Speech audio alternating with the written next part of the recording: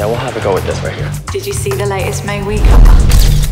Yours will definitely be better. The May we cover, I'm going to give it to Eddie. But you promised me this issue. I've got something better for you. Who is this? He's an up-and-coming actor in China, don't you know him? He only wants to work with a Chinese person. Hey, lion! So, for your hat. I don't want to wear those Western clothes. I want to represent New China. Who does he think he is? Maybe you just need to get to know him better. What are you doing? Washing off the grease? You have an interview next week, so let's just try and work together. There are way more choices in America, huh? Made in China, huh?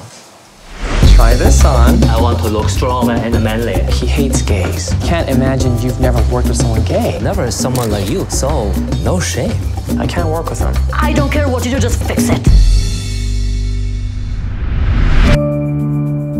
Mom, Dad? Ning, So your family know that you are. they're not Chinese in that way. You always say only date white men, never Chinese men. They're wonderful. What's holding you back? He still has a girlfriend.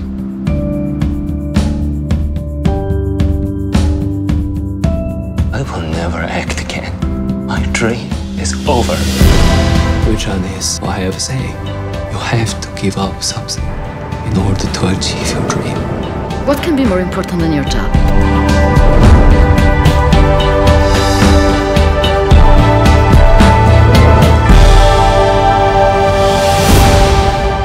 Next to Mama.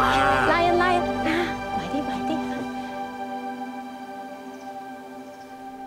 Okay.